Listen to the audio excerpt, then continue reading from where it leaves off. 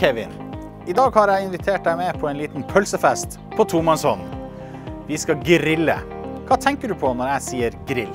Når jeg tenker på grill, så tenker jeg barbecue-saus. Kjøper du den, eller lager du den sjøl? Jeg er jo kokk, så jeg synes det er gøy å lage min egen. Og det er jo egentlig ikke så vanskelig som man skulle tro. Jeg skal vise deg.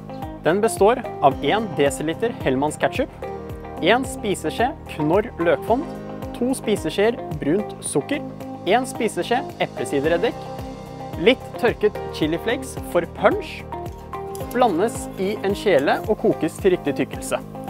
Men det er viktig å ikke glemme brødet når man skal lage hamburger. Mitt beste tips er å smøre litt Hellmanns original på brødet og grille det raskt. Da blir de crispy og ikke soggy når de kommer i kontakt med grønnsakene. Men det er jo ikke bare kjøtt som kan grilles. Fisk og grønnsaker er undervurdert på grillen. Fisk går jo ofte lett i stykker, men pakker man det inn i en folie sammen med grønnsaker, så holder det formen, og alle de deilige smakene blandes sammen. Hvorfor bruker du primærba i denne fiskeretten? Knorr primærba er en krydderpaste av urter i olje.